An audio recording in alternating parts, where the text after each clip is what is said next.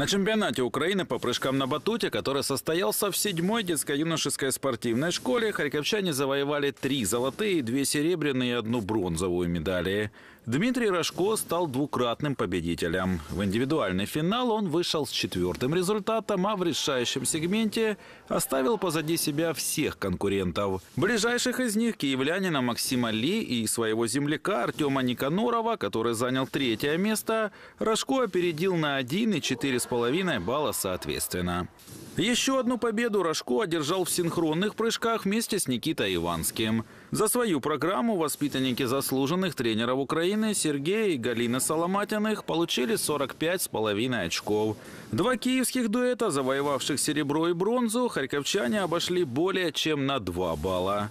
В личном турнире Иванский выиграл квалификацию, но в финале не избежал ошибок и расположился на шестой итоговой позиции.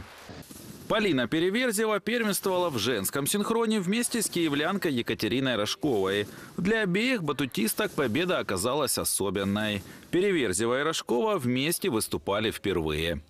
Анна Бакуновицкая заработала две серебряные медали. В личных соревнованиях она уступила 1,1 балла многолетнему лидеру национальной сборной, участнице Олимпийских игр киевлянке Марине Кейко. В синхронных прыжках Бакуновицкая стала вице-чемпионкой в тандеме с Екатериной Кулешовой из Одессы. В медальном за... В медальном зачете чемпионата Украины харьковские батутисты оказались в... На чемпионате мира, который пройдет в середине ноября в Баку, Харьков представят Рожко, Иванский и Бакуновицкая.